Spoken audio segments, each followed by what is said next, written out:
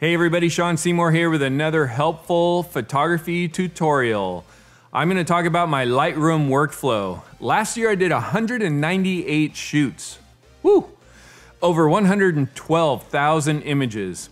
I was able to keep track of them all, I was able to back them up, and years later, I can go right to that image folder and find those images. Are you ready to learn how I did this? Let's get started.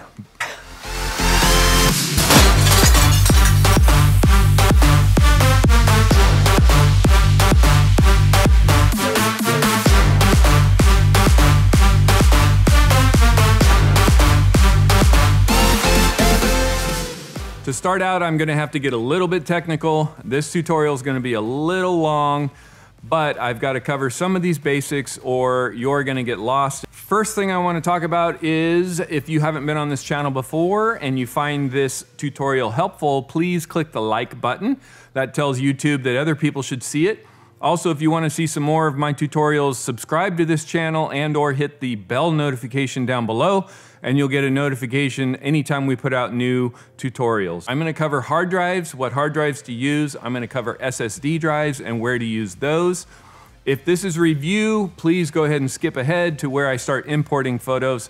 But to start out, I've got to explain some of the basics so that you don't spend a bunch of money buying things that you don't need. Then I'm going to show you how I import and what my file structure is, my naming scheme and everything else, how I import images into Lightroom. And then I'm going to show you how I remap what's in Lightroom to a backup drive so that I can pull that backup drive out of my dock and store it. If I ever need to come back to those files, I put my backup drive in, double click on my Lightroom folder, and it's ready to go as if I had been working on it just yesterday. In order to back up in mass quantity, you're gonna wanna get yourself a hard drive dock. This is a two bay hard drive dock from, from Rocstor. It's a USB-C connection, so it's really fast, 10 gigabytes a second, and it's going to allow you to put in things like hard drives and SSD drives, both of which are necessary in what we're gonna talk talk about. Quick little disclaimer, I am switching over from SSD drives in a dock to these little guys, which are super fast and have a USB-C connection as well. Plus, anytime I wanna travel, rather than all of the other stuff that I used to bring, like this case, this dock, two of these hard drives, two of these SSD drives, right? Try to get all of this in one place. it's not easy. All of that is going away. There you go, two of these when I travel. The hell is that? Anyway, you're gonna need a dock, which I'll put in the link below. You're gonna need a hard drive, a spinning hard drive. This particular hard drive is three terabytes, but my actual backup hard drives are six terabytes, and I store two years of data on one drive. Then I copy that drive so that I have redundancy in my backups. One of those stays in the studio and one of those goes home with me. This allows you to essentially have unlimited capacity because you can pull these out, put another one in, and you can buy hard drives. These things are cheap, $165 for the six terabyte version. I'll put a link in the description below.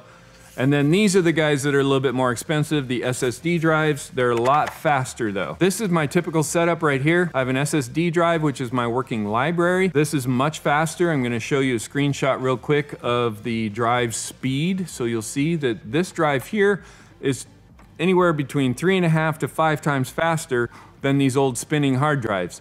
However, there is a cost trade-off, a cost speed trade-off. This drive right here, while it's faster, has smaller capacity. There's only two terabytes.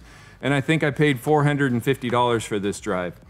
These, I got two six terabyte drives. They last me for two years. One is my backup and one's my redundant backup. Anyway, I got those for $350, 165 each, ish. Okay, so what I do is, and what we'll explain in this video is, my working library, which needs to be the fastest it can possibly be so that my editing is really quick, goes on my SSD drive, and then when I'm ready to back things up, it goes right here to the spinning hard drive. All right, I'm glad we got through that. Let's go ahead and get back to the studio where I can show you some screenshots of how I do my imports. Okay, so I'm back in the studio, and one of the things that I want to explain is how I organize my hard drives, my SSD drive, my folders, and my image files. Without this, the rest of the tutorial is pretty much worthless. Things I'm going to show you is how you can remap your backup drive so that you can just simply double click your Lightroom file and it will open up everything and look at your backup as your working library. Okay, so back to the structure. I have an SSD drive over here on Photos 2TB. It happens to be two terabytes. I have two folders. One is a Lightroom folder that has all of my Lightroom files, including any backups that I may have made my previews, and my Lightroom catalog. Do not mix those files with your photo files. These are all my photo files. So when I do an import, I name a folder for the shoot and then if I click on this, you'll see that I also have corresponding names for all of the image files. This makes it really fast for me years from now to be able to go back in and find the actual shoot for these images. Okay, on the backup side of things, this is a spinning hard drive with higher capacity. I typically will store two years on one hard drive and then make a backup of that so I have redundancy. You can see I have 2018, 2019 here as a backup. If I ever want to go back in and look at any of those images, all I have to do is click on this, go into my Lightroom and go into my Lightroom catalog and it'll open it up as if I were working from my working library that maybe I used today or yesterday. Anyway, I have a mirror image here of my working library. So you can see I have a 2020 Lightroom folder with all of my Lightroom files. I have 2020 photos with all of my photo shoots. I will explain later in the video exactly when I take this folder from over here on my working library and I drag it over to my photos folder to back it up. There is a point in time in which I do that. It's usually after I cull everything out. And then if you stick around to the end of the video, I'm going to show you how I remap my Lightroom catalog so that it looks to my 2020 photos folder on my backup drive as if it was my working hard drive. Okay, let's move on to the next step where we're going to do an import. So click on library, then go down to the left hand corner and click on import. Okay, so I have put my camera memory card in the reader. Lightroom's going to automatically identify the pictures that are on it. If it doesn't, go ahead and click on the left hand side there where it says EOS Digital. Yours may say something else. First thing I do is I go through and I scrub all of the images that are obviously not images, like blacks and misfires, anything along those lines. There's no point in storing all that, so I'm just going to scrub them out. Okay, after you're done scrubbing them out, this looks good. Next thing to talk about is this eject after import. If you have multiple shoots on one card, you might want them in different folders. So you'll want to uncheck this. I format my camera's memory card every single shoot, so I don't have this, uh, I don't have that problem. And so I'll leave mine checked and it'll kick the card out when I'm done with the import. My next suggestion is you treat this like reading a book. So across the top there, read from left to right so we started over here. What are we importing? What are we doing to it? And then eventually, where do we want it to go? I copy as a DNG. I'd love to hear your thoughts below in the comment section if you do a copy as a DNG or you leave it as a raw file. Just know that if you copy as a DNG, it's going to take longer to do your import. Keeping with our theme of reading left to right, let's go over and tell Lightroom where we want the photos to be imported, where we want them to be stored, pick other destination. Now, as I mentioned before, I have two folders here. One is going to be 2020 photos and the other one's going to be 2020 Lightroom. The photos is where you store the images. The Lightroom folder is where you store the Lightroom catalog. The two do not ever cross each other. So let's go ahead and click on new folder. Now here comes the trick. The new folder starts with the year, the month, and the day, and then you pick something significant about the shoot. And if you're changing locations or you're on location, then you're going to put the location at the very end. To new photographers and people that are new at Lightroom, this might not seem very significant, but what it does is it organizes every single one of your shoots into a chronological order by date. It also allows you to search by name. So inside of Lightroom, you can search by name. You can also see right here very quickly where all of your photos are. This file structure survives in Lightroom, as you'll see shortly. Most of my photo shoots happen in Sacramento, California, so I don't put that on my particular file structure, but certainly if I was in Mexico, Hawaii, traveling, maybe in LA, I would put that on the end so that I could search by it and I'd also know exactly where the location was. Okay, little workflow tip here. Highlight this and copy it. Now go ahead and hit create. After you hit create, it'll create that folder. We'll go ahead and choose that folder is the location. Okay, and staying with the theme of left to right, top to bottom, go ahead and click on file handling. I leave the build preview at standard. I don't use smart previews right now, although when I have an offsite editor, I do. Go ahead and leave checked the do not import suspected duplicates. That helps. And then I do not make a second copy, and I'll explain why shortly, but it has to do with saving yourself hard drive space. Okay, next, click on File Renaming. This is probably the second most important thing outside of organizing your folders.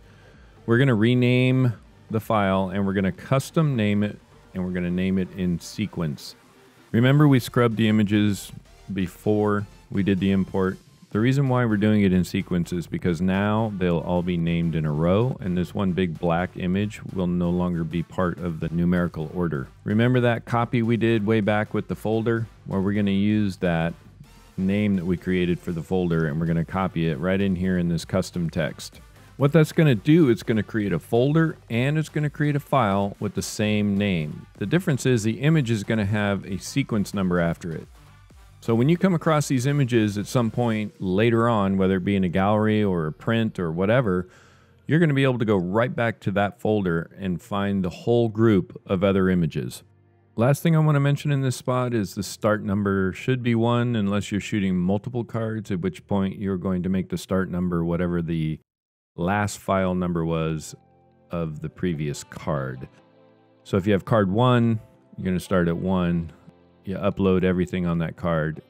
Then you're going to put in card two and you're going to start wherever that card left off. Okay, I don't do anything with destination. I leave this alone. We've already determined where we want our images to go. And I'm going a little backwards here, but apply during import. If you have some things that you do regularly, like let's say you apply sharpening or you apply vibrance, clarity, something like that to every image that you import, and you might do that depending upon the profile that your camera is using. You can create a development setting or a preset here, and when you import, those things will be automatically applied to the images. Okay, so a quick recap. We're going to read like a book, left to right, top to bottom. Go ahead and double check your settings. Make sure everything is being imported from the proper card. You're doing the proper thing to the images when you're importing it they're going to the proper place and you've renamed the images to the folder that you want to store them in.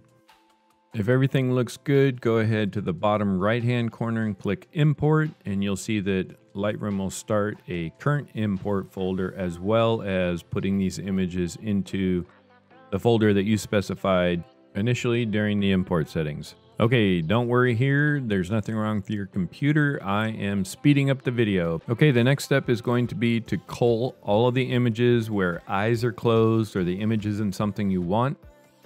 I call them the duh images. We're gonna scan through real quick and find those. Remember I said at the very beginning when I was importing that I did not do a second backup copy while I was importing? And this is why. I scanned through all the images. Here's one right here. I don't want this one, so I'm going to set it to be rejected. You can press X and it automatically flag it, or you can flag it with the black flag down at the bottom. So that will set it to be rejected. After I go through and I scan for everything else, I go up to library, oh, I'm sorry, photo, go down to the very bottom, delete rejected photos, and delete from disk. Now these are gone forever. So once you do this, they're gone. So I delete from disk, which when you do a lot of shoots and you have a lot of images, that's going to save you a ton of hard drive space over the years. So one of the things we haven't talked about yet is backups. One of the nice things about this whole system is it's very easy to back up. And then once you close out a year, it's very easy to open your Lightroom catalog from that year and get to all of your images without having to remap anything or do anything special. So let's jump out to where we keep our files again. After I'm done with my import, I'll click on my working library disk, which is my SSD disk. You notice I have two folders down here at the bottom from today's shoot, and my backup folder does not have those yet. So before I erase my camera's memory cards, I will come in here and I will go ahead and grab the two folders from today's shoot and I will drag them over to my backup disk, which is my spinning hard drive, drop them in the 2020 photos folder, and you'll see that I'm now creating a backup. I have a rule here at the studio that we always have two copies of every image. So once this is copied over, I will be able to format my camera's memory card and get it ready for the next shoot. Okay, the next thing I want to show you is how we're going to close out a year. In other words, we're going to take the fast SSD drive and our working library from that SSD drive, and we're going to now close it out to just a backup drive. The reason that I do this is because I want to use my fast SSD drive for the following year, and then I want to be able to back up my backup so that I have a redundancy, but I also want to be able to find those images and or just go to that drive, drop it in the dock,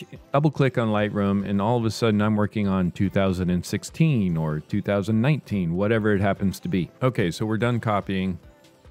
So we have identical 2020 Lightroom 2020 photos from our working catalog, Lightroom catalog disk, which is our SSD drive. Over here to our spinning disk, which is the 2020 photo backup. I have a 2020 Lightroom, which is exactly the same as my working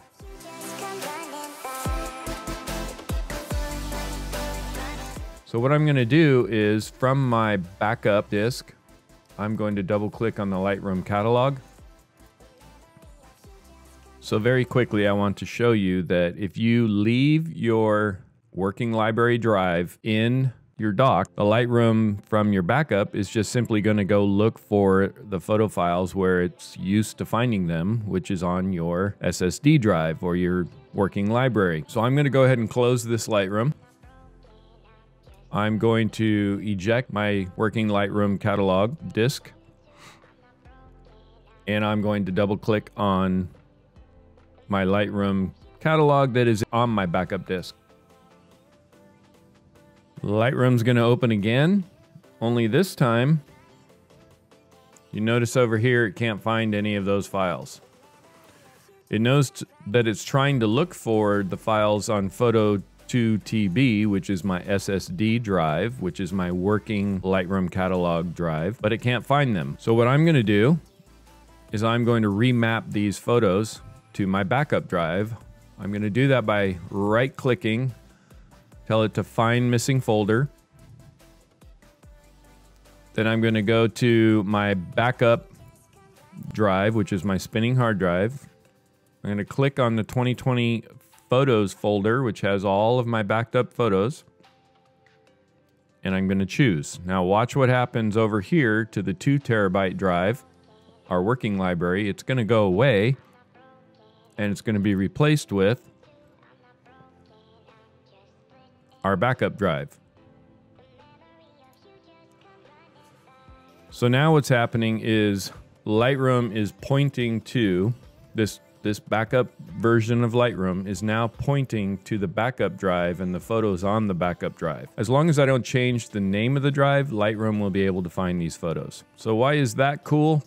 Because my backup drive now is completely self-contained. All I have to do is double click on the Lightroom folder and it is already mapped to all of the images for 2020. So let's say I want to go to 2019. Everything for 2019, 2018 are on one drive, like I told you earlier. I changed my ways a little bit because I should have only two folders in this 2019 photo backup. But instead, I have all of my photo folders and my Lightroom folder mixed together. I had to individually map each one of these folders in order to get this to work. But if you follow the way that I just described in the video, you will be able to just double click on your Lightroom folder and everything will already be there. Literally, this is as if I was sitting here in 2019 working on this shoot as if it happened today. So you can see that all of my folders with all of my photos are on the left-hand side, just like they would be normally. If you follow the naming scheme that I gave you at the very beginning of this video, you will be able to go to any of these folders and pick out a shoot. Let's say I want to go to Cabo. I'd love to go to Cabo. And I want to find all the images that I shot in Cabo. All I have to do is click on that folder and up pops everything that I shot in Cabo. One little piece of information, when you do that, Lightroom, if you go down here, Lightroom is going to try and open the last Lightroom catalog that you opened. So you'll need to reload your SSD drive with your current Lightroom catalog.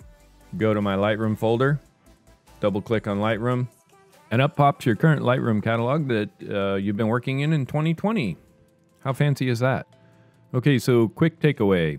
You're going to want to organize your folders in an SSD drive, which is your fast drive, you're going to have a Lightroom folder that has all your Lightroom files and a Photos folder. The two don't mix like you saw I was doing in 2019. Then you're going to have a backup, which is going to be a spinning hard drive, and your backup is going to have the same, a Photos folder and a Lightroom folder. Hey, I hope you found this video helpful. I would appreciate it if you'd hit the like button below and or subscribe to my channel if you want to see some more of these tutorials. If you have comments about whether or not you convert to DNG or whether or not you like this video, you have questions or whatnot, please feel free to leave those below. And as always, I'll see you on the next one. Until then, keep it simple.